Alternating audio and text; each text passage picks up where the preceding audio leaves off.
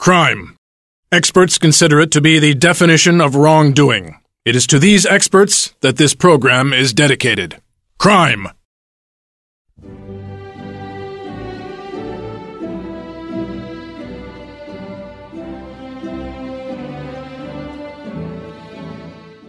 Good evening. Most comic book stories involve the superhero, but this story is different. In fact, so different, it may surprise you to death.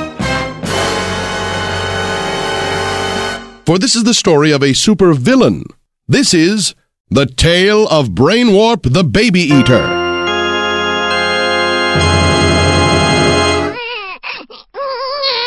Chapter 1 The Dumb Knight Rises. This is a tale that could only be told by a great storyteller. And so, we now turn things over to a professional yarn spinner, Grandpa Wiggly. Take it away, Grandpa Wiggly. well, well, hello there. Welcome to Grandpa Wiggly's porch. I, I don't get many visitors out this far Magnet City, so it's a good thing you ran out of gas here. now climb up on Grandpa Wiggly's knee, and I'll tell you all about Earth. I've been telling my story to all the children for years, and every single one of them has a moral. Like the one that says, every time you go to sleep, your parents love you less. Or, whenever you go to the bathroom, you lose part of your soul. It makes him think, like the tale I'm about to spin. All snuggled in?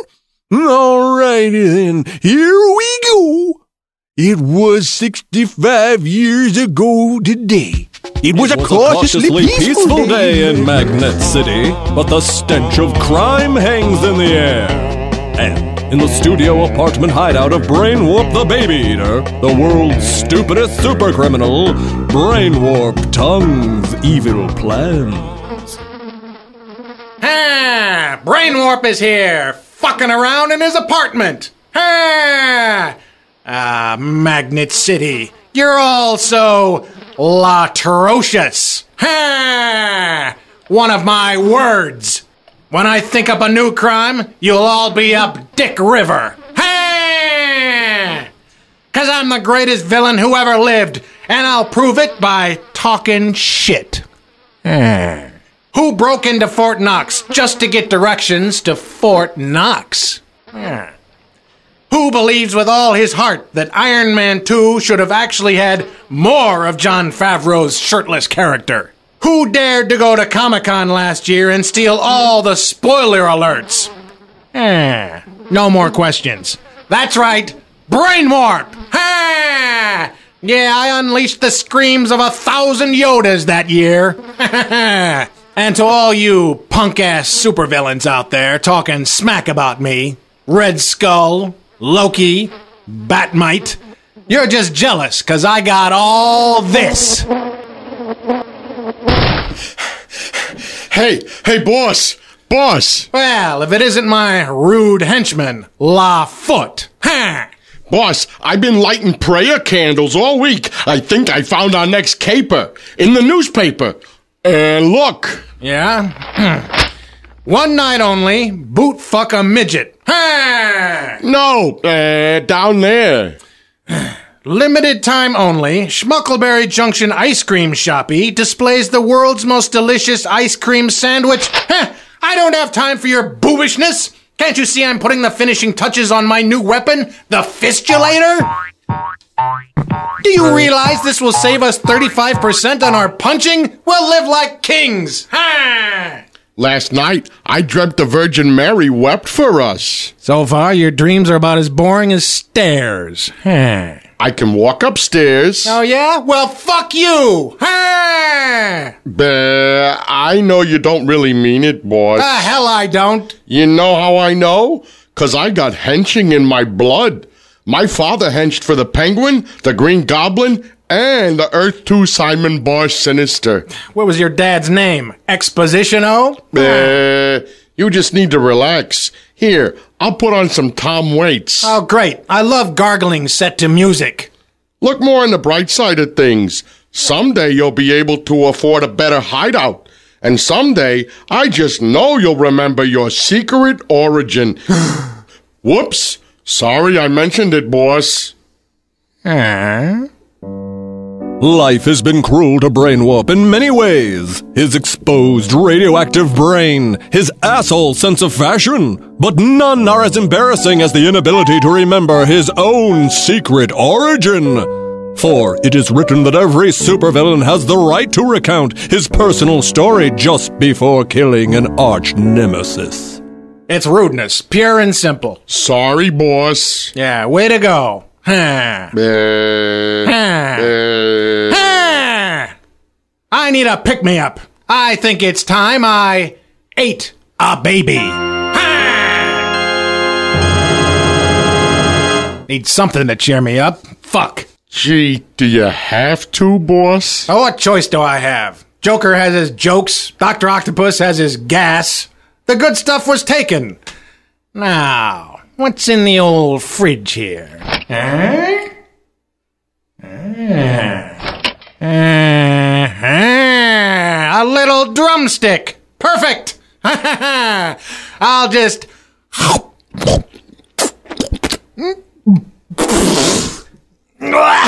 This baby tastes like cave. I need fresh babies to eat. I'm fucking famished over here. Could this day get any ruder? Wait, wait. Is it 4:30?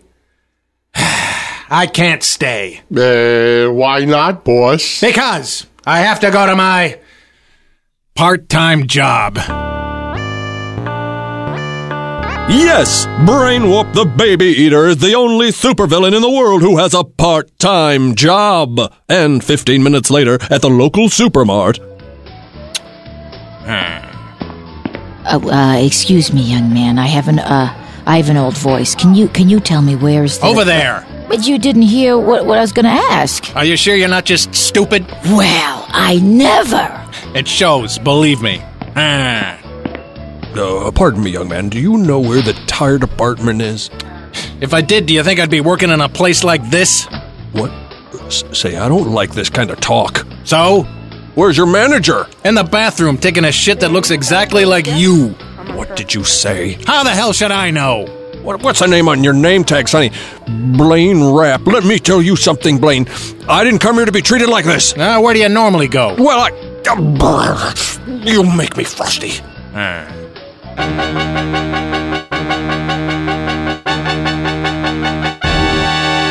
And 18 hours later, after work, Ah, Hulk farts. Work can kiss my work. You know, I need to just go for a walk. Be by myself for a bit. Rethink the unthinkable. Yep. Time to walk.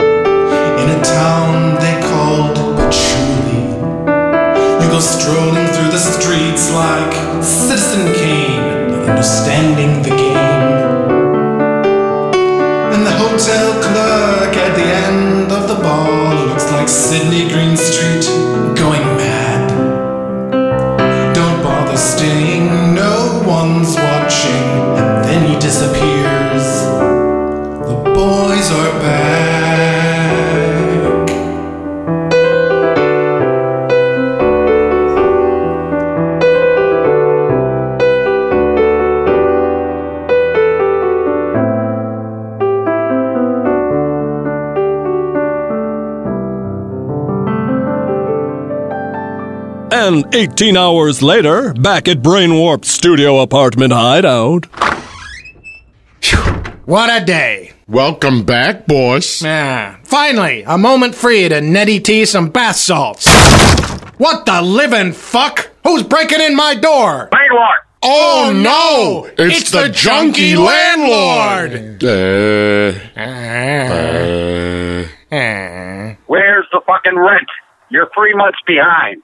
I need that money for that next fix. I got this white fucking horse on my back and I can't get it off. What are you gonna do about it? you jagoff.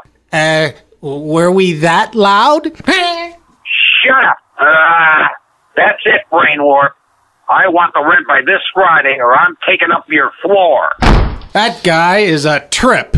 Huh. We follow Brainwarp's junkie landlord as he makes his way through the dilapidated apartment building on his way to a very mysterious rendezvous. Along the way, the junkie landlord takes the time to stop and check in with certain tenants, making sure their renting experience is to their complete satisfaction. Who the hell is it? Hi, it's the landlord. How would you like to pay this month's rent? With a sexy predicament? Well, what do you say? Ew! Gross! You have a sexy cough. Did I mention I can play the theme to the sting on my balls? It's called The Entertainer. I've got the movies on fucking Laserdisc. Oh, asshole. Back in his own apartment, the junkie landlord has a secret conversation with a mysterious caller. Hello? Junkie landlord speaking. You did as I asked. Huh. Oh, it's you, yes. I I gave Brain Warp until this Friday to pay his fucking rent. He fucking owes me. Good. Then it won't be long now. That's pretty funny. Ah.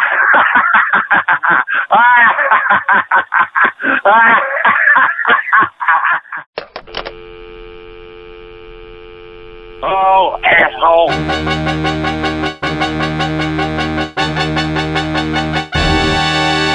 Meanwhile, back at Brainwarp's apartment.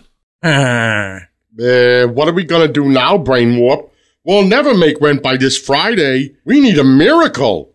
I know. I'll pray. Our Father, who art in heaven. fuck God! He's a dick! I've got it! Schmuckleberry Junction Ice Cream Shoppy is unveiling the world's most delicious ice cream sandwich. I'm going to steal! Ha! Ha! But how we gonna make rent? We're gonna steal! Uh,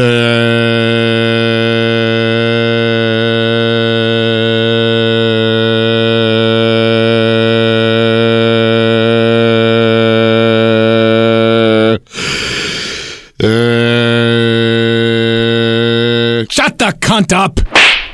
ow! And whatever you do, don't forget to call my best friend, the Stoolie. He's a real fan of mine, has to know everything I do. Okay, now let's get out there and show Magnet City what dicks we really are. Good. And on the way, I want to listen to our musical guest, Liam Lynch. Uh,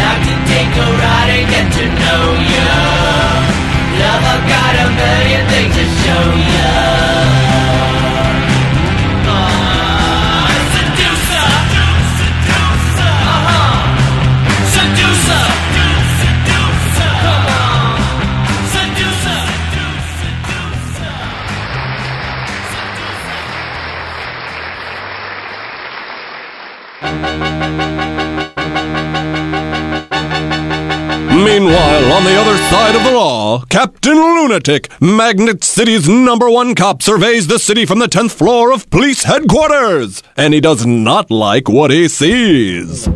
Goddamn condominiums! This freakazoid city! Nothing but dopers and street walking hookers! Jailbait hooked up on ice! Cab drivers sexting with opera singers! When will it cease? This magnet city is burning a hole in my soul so deep you could drive shit through it! Ah! God, I love the acoustics in this room! God damn you, brainwolf! God damn you to hell! Brain warp! The rube of robbery!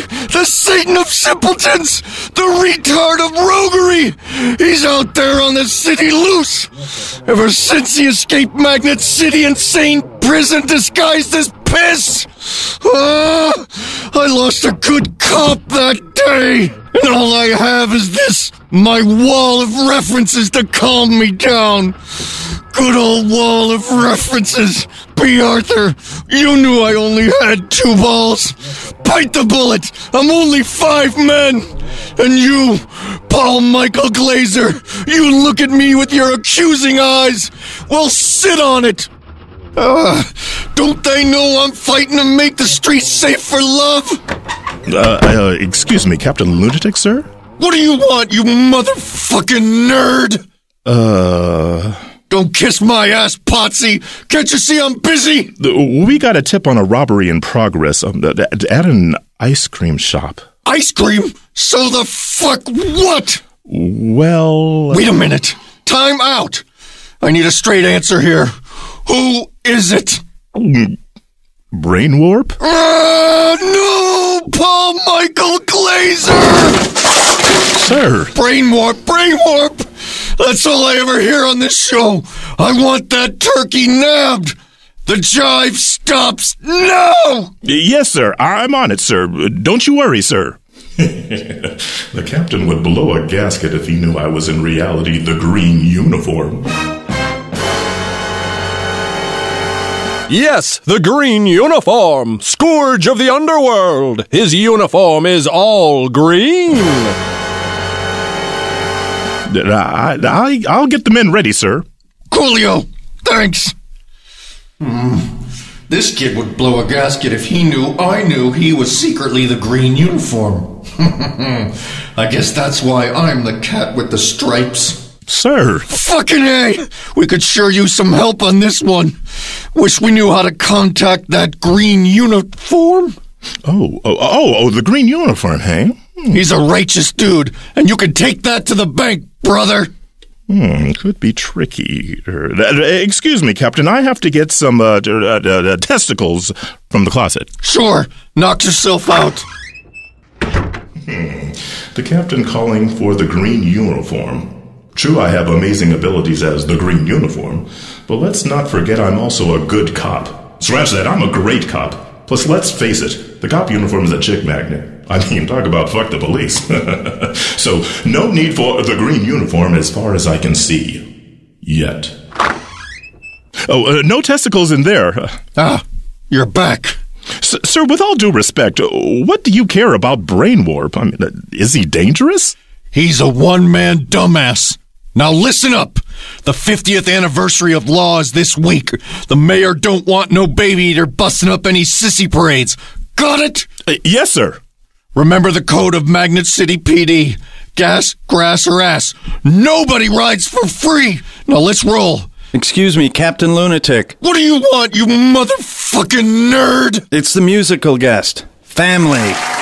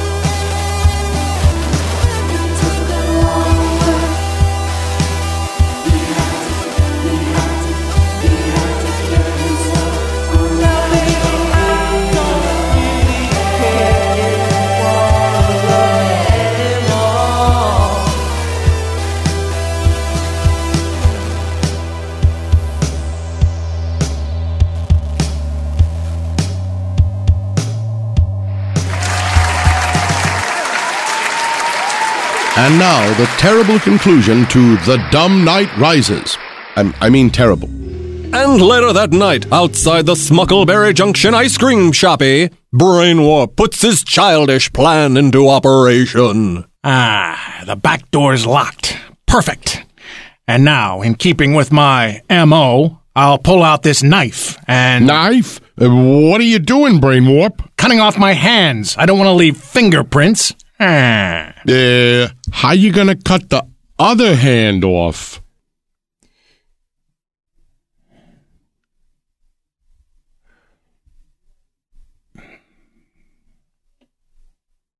Leave it. Hmm. Ha, never mind. This is going to be trickier than I thought, boys. Uh, what? Freeze! Everybody freeze! Hold it, brain warp! Captain Lunatic! I'm gonna blow your head off with this 357 Magnum! You'll have to kill me first. There's gonna be two hits! Me hitting you, and me hitting you! How rude! Oh, yeah? Well, I'm rubber and you're a whore. Anything you say bounces off me and fucks you in the ass. Ha! Get him, LaFoot! Uh, forgive me for the punches I am about to bestow. Ha ha! Now while that's going on, I will escape on my rocket marble. Ha! Rocket marble? Hey, he's jumping on that little marble. What the? He's lifting into the sky. I win! I'm the big winner! You lose, fuckface! Too bad, so sad! So long, lunatic! We'll meet again! In heaven! No! You can run, but you can't hide, brain warp! Cause wherever there's an innocent little baby being eaten, I'll be right there behind you to make you puke it out! But regardless, I'm happy to say the streets are once again safe for love! Okay, let's wrap it up here, boys. Shoot the henchman and let's go! Yes, sir.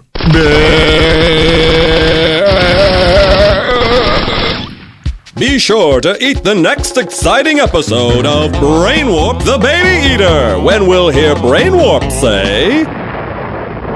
Hey, how do you stop this motherfucker? Somebody get me a big ladder! Help! That was the Brainwhoop the Baby Eater Show, starring Eric Hoffman, Matt Walsh, Bill Chott, Scot Robinson, Neil Barton, and Gillian Vigman. Music composed and performed by David Adler. Additional music by Michael Berson. Script by Eric Hoffman. Engineered by Dustin Marshall. In conjunction with Feral Audio, a presentation of Deems Productions. And now, Comic Book Gossip Corner with Brainwarp. And here's Brainwarp. This is weird. Superman has a glasses face, in my opinion. And Clark Kent doesn't. Eh.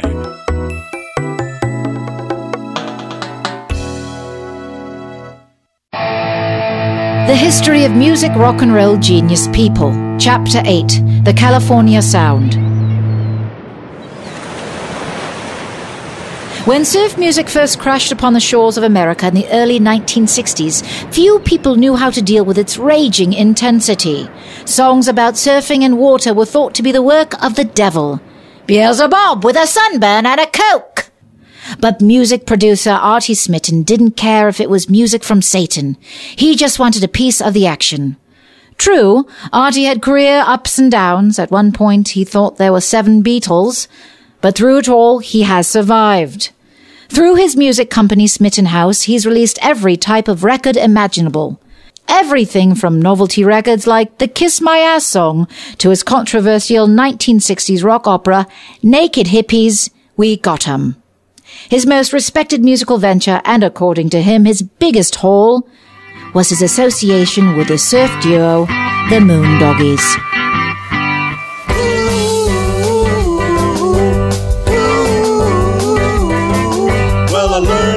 Lesson back in grammar school. Always remember the mathematical rule. Cause five times two equals hang ten. Five times two equals hang ten. Five times two equals hang ten. Five times two equals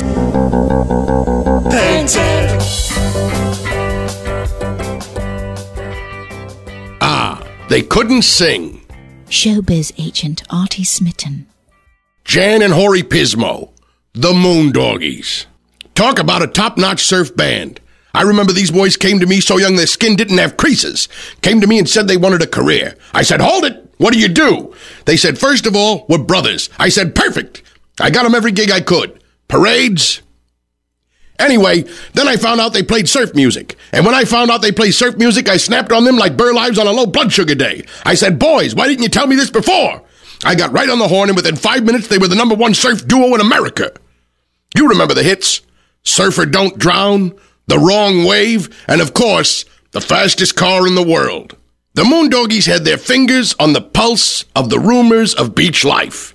They didn't surf or even swim, but they made us believe that people who lived on the beach might look, act, and maybe even sing like that. The only people who knew any different were the surfers, the teenagers, and the car enthusiasts. As their star kept rising, I got them cameos in all the teen beach pictures. The only one they were ever directly paid for was Beach Blanket Grab Ass. Just like in every film, Jan got the girl and Hori played a Martian. Jan was the big brother, you understand. Ah, Jan. What's that you have there? This is the last picture of Jan taken before his tragic car accident. See, that's Jan at the beach driving off in his convertible, and that there's Hori shouting after him. Terrible business. He was paralyzed. I was heartbroken. I mean, dead I can work with, but a man in a wheelchair is like a three record deal on acid. on acid. Keep that bit in there. The kids will get it. Jan took the news of his paralysis so bad that he never walked again. He was confined to a wheelchair, which incidentally was my idea. Without a career, Hori went off and joined a drinking commune in Detroit so that he could find himself. From what I heard, he found he was an alcoholic. He woke up in a daze in Las Vegas, legally married to a shoe. After a costly divorce, Hori became a big hit on the lounge singer reenactment circuit. Then the inevitable happened. Jan talked Hori into a reunion concert at Perimeter Park in Magnet City. Oddity buffs, freak oglers, and rehash groupies alike showed up just to see what would happen. And now here's that infamous performance from Perimeter Park. Hi, we love you. Hey, everybody. We're the Moondoggies. Yep. I'm Hori. You might know me from uh, I Better Work with the Lampshades. This is my brother, Jan. Hi, everybody. It's rock and roll uh, day. Yeah, you know this is going to be a great concert because my brother's drunk. That's Hey. how I know. Hey, Hori, Hori, come on. Well, Don't take me there, Hori. oh, get off it, you lazy motherfucker. Hey, come on. We don't fucking need this shit This right now, man. This is not the time. Talk me into you Not the time. You Oh, you- played and look at these people they paid. Yeah, you want to fight, Hori? You want to fight a guy in a wheelchair? ridiculous. Let's go, right? Come on. You want to? All right, on, you want a little bit of this? Come on. Come on. Get- look, get- Fucking go on. Watch my. Look. What are you doing to these poor people? Look at everybody. You come out here and you fall out of your wheelchair. Are you satisfied now? Give me the mic. Look, look what this has come to. Give me the mic, kid. We should at least try this in my living room first. Give me the damn mic, Hori. There. You know, in a way, I'm glad this happened. 25 years ago, my brother and I were at the beach having a party, celebrating five songs in the top 10. That was the year of our hits like Five Times Two Equals Hang Ten and Surfer Sissy. Our manager, Artie Smitten, was throwing a little clam bake for us to celebrate, and we're all so excited we, we actually wrote a new hit in the sand. We were going to call it Clam Bake Party. But we never got the chance to record that song, did we, Hori? That's right, we didn't.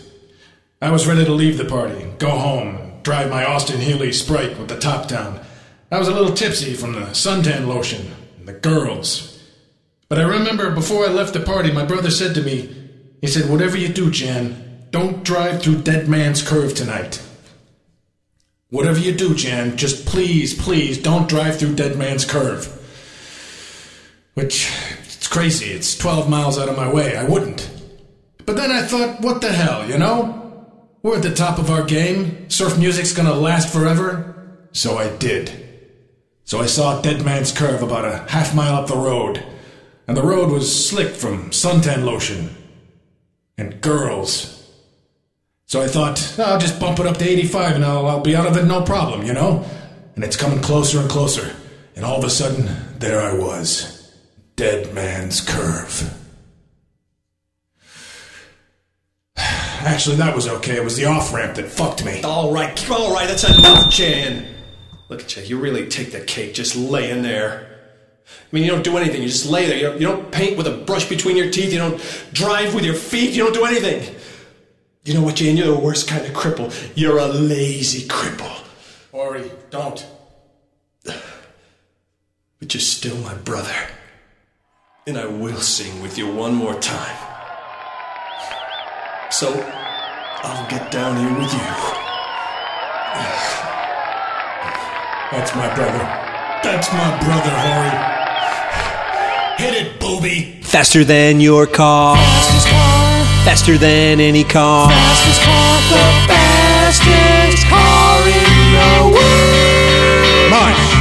drives a thousand miles an hour. Fastest car. She makes a stop sign cower. Fastest car. She's got a carbureted maxi tower. Fastest car. She's got a hundred million horsepower. Fastest car. My, My fastest, fastest car. car. She has what it takes. And here's one more thing. She ain't got no brakes. Faster than your car. Faster than any car. Faster than your car. Faster than any car.